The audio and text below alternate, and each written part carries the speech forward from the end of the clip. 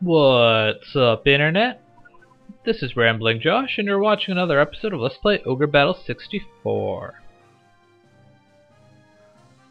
Today we, uh, everyone gets to their destination, and we also finish things off here in Wentinus, and, uh, well, I want not Magnus. I want Ankiseth to be the first one to reach Baldwin here, so I'm actually going to have Magnus stay put for a split second and then continue following. I feel like Magnus tends to move faster than other guys. It just always seems to be the case that he is just a little bit faster than everyone else. Maybe I'm imagining things, maybe not.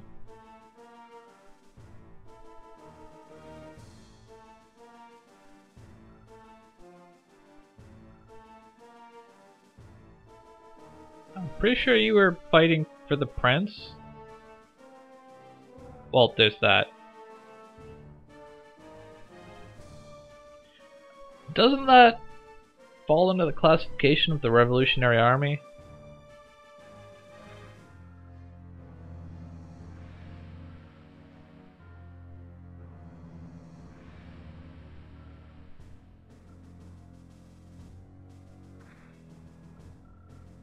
That's uh, quite the sword you got there. It doesn't seem the best design for a piercing sword. It, uh, looks like it would just kind of crumple the second you tried to stick it in someone. At least I'm assuming it's a piercing weapon based on the stance he's using with it. I don't actually expect Ankiseth to kill anyone, uh, or uh, to kill Baldwin in this fight, particularly because his orders are autonomous, so he just kind of shoots things at random. I just wanted him to fight Baldwin first just because of that extra dialogue that he gets there.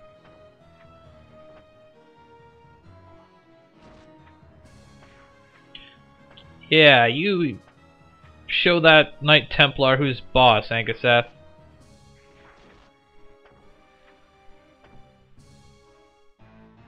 Wow, uh, I'm pretty sure Ankiseth just straight up lost that fight. He didn't really do too well for himself, but hopefully Magnus can show him how it's done. Oh god, freaking healing items. And another scene.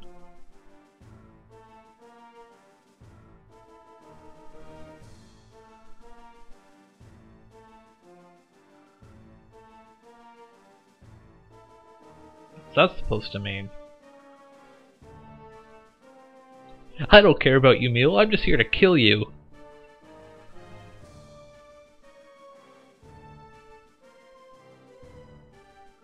No!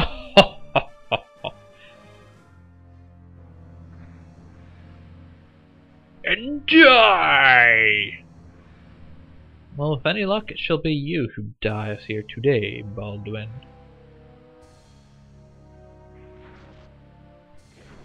See, Ankiseth? This is how you do it. When you attack the leader, he tends to die. Well, when once I actually get the chance to. There we go, that's more like it. Like, Magnus's unit was practically half dead before even engaged, and he still managed to seal the deal.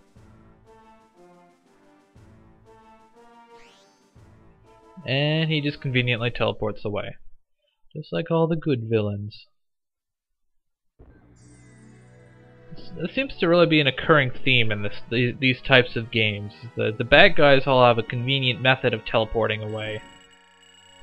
And for beating him, we get a Goblet of Destiny, which uh, is an item which has a chance of improving your character's luck. It also has a chance of either doing nothing or decreasing your luck, so there's that.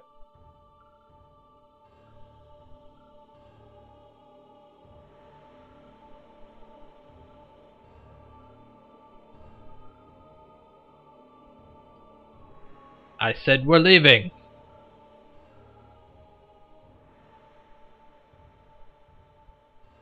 When did that happen?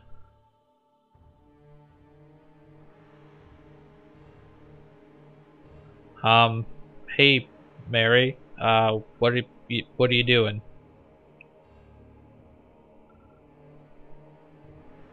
What are you gonna do? Calignos Order? What the heck is that?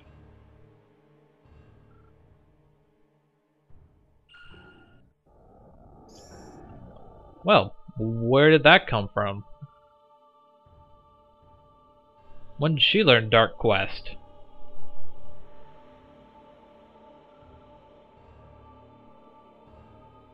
Let's go together.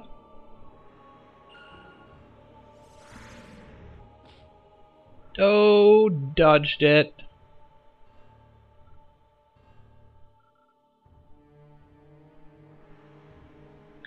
She might be good at magic, but uh, she's rather susceptible to the bitch slap, apparently.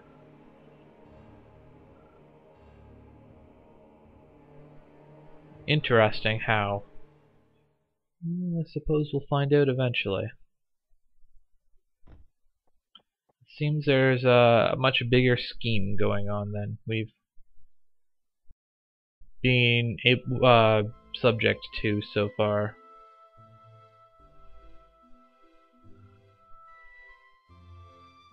Dude, he's not there.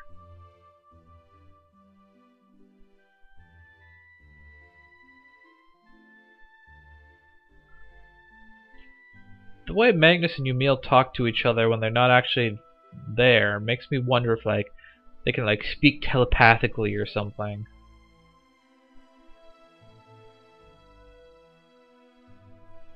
Of course, that's not the case. If that was, things would be very different, but you know, whatever. Yumi!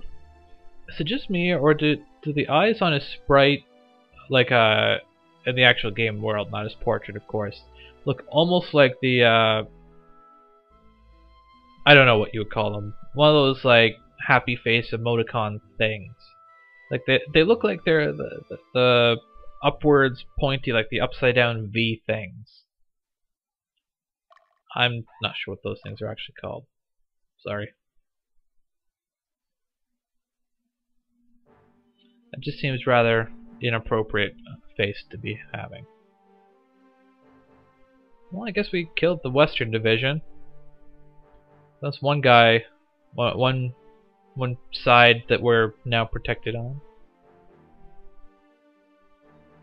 Convenient that uh, not, none of the other regions decided to attack while we were dealing with the Western Division.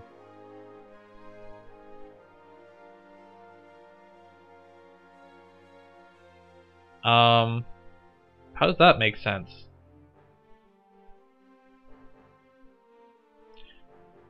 So yeah, Mount Caryolith, Azure Plains, and Wentinus, they're all gone. We we kind of withdrew, so yeah.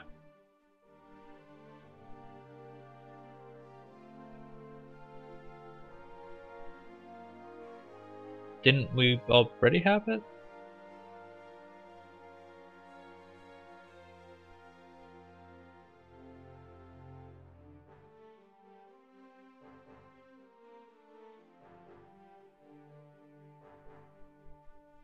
Hey look, this is Frederick.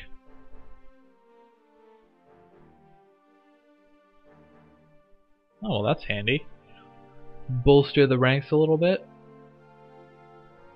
All these little scenes that they're showing and then like going into grayscale, they don't really make a whole lot of sense, but whatever.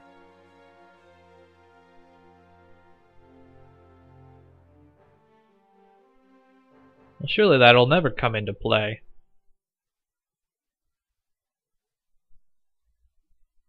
And so begins Chapter 3. Time passes as their backs break under their burdens. As always, I'm not quite sure what exactly that is supposed to mean, but it sounds cool, I guess. Kind of.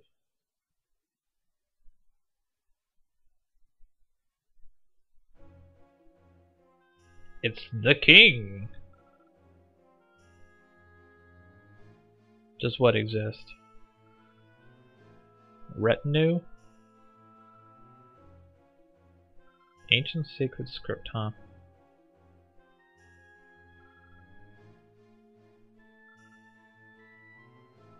So they're looking for the Temple of Birth? Why? What is that?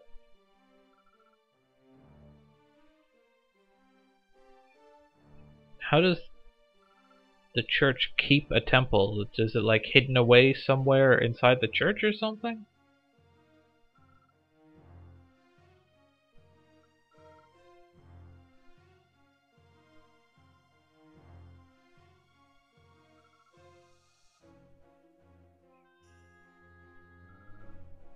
Brachus seems a little impatient.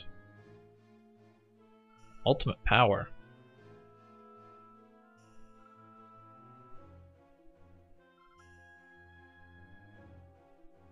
Well, it's kind of hard if you can't find the Temple of Birth, isn't it? It seems like the royalty is plotting something. Hey look, it's Baldwin! And some dude in a fur coat. Sir Richard. He does look like a Richard. Were you plotting something behind my back?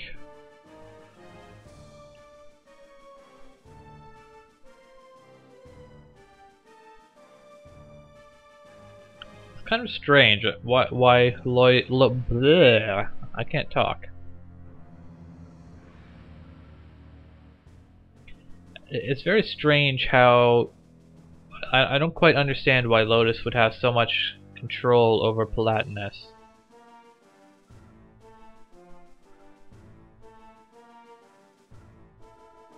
Any questions? I don't care because you're not autonomous anymore.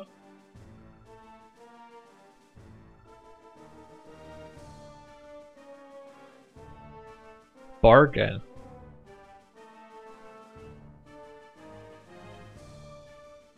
Huh?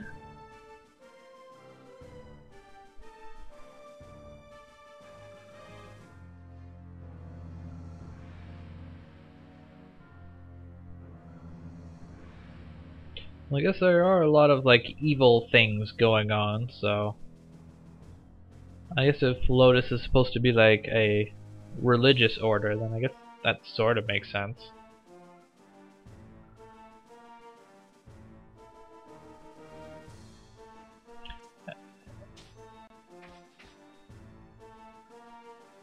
Well, that that went well.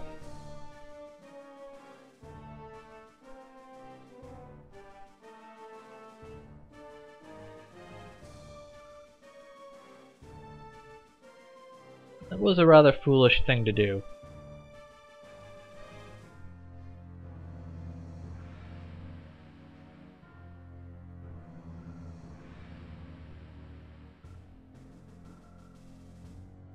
Pruffless? Who's Pruffless?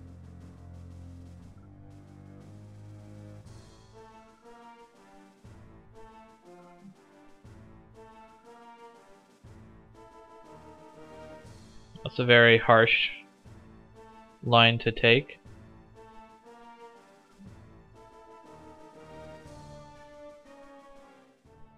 I don't know, I mean Baldwin seems to be doing a, a decent job anyways. I mean were we even fighting against Lodis in uh, Winia? Or not Winia, Wentinus?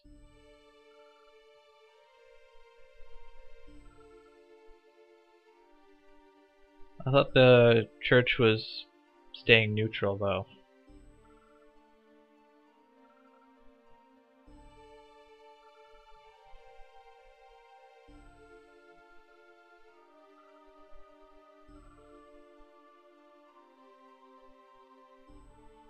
Seems a more logical stance than this dude.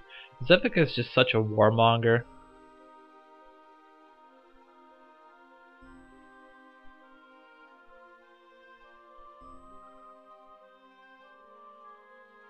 Well, I mean, even if if not that, I mean, I would think that they would at least be like lesser organized and stuff.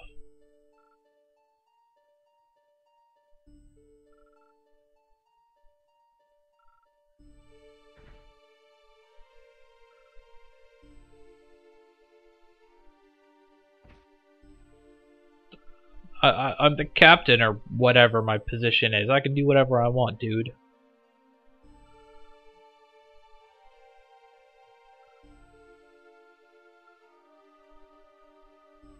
Speaking of,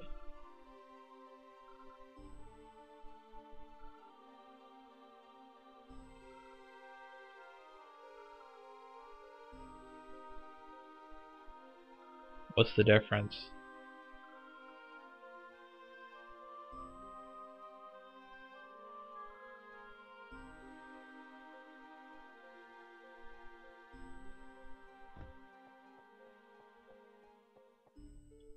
Now what?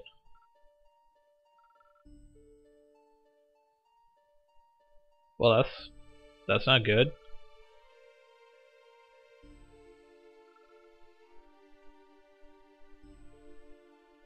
I guess they've uh, forced our hand.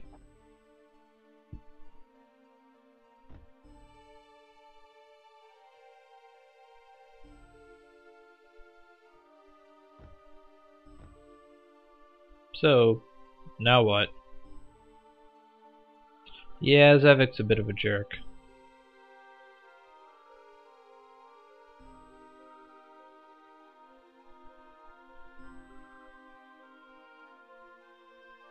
I don't care about no stinking army. I just want to fight by my little son. Hmm. I'm fairly certain we want to say number one.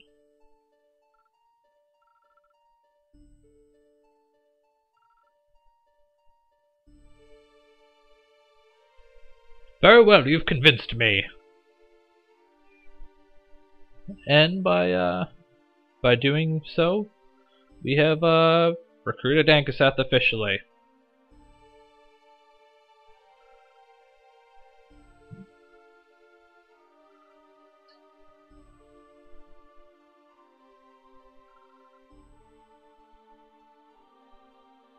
Um, Lodis? Yeah, so Lodis is just trying to stamp us out.